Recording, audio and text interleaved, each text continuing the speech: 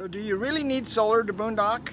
Well, we're going to talk about that and we're going to show you what our setup is in this video and how we've been using this for the last four years and how nice it is.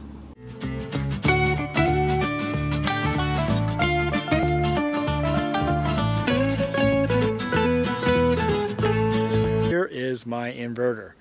Now inverter is taking the 12 volts and making it 120 volts. And so that's what my TV runs on that's what my uh, microwave runs on okay? All those kinds of things. So the inverter here pulls all the power from the batteries and this particular inverter puts out 3000 watts.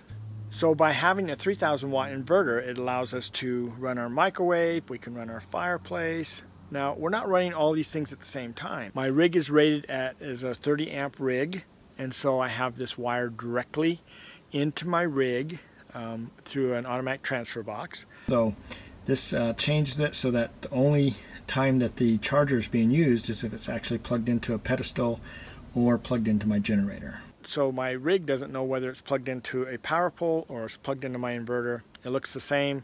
Uh, the power pole can give me more amperage than what the, the inverter can give me, but other than that, the rig doesn't know any different. As you can see here, I have my panels set up on my roof.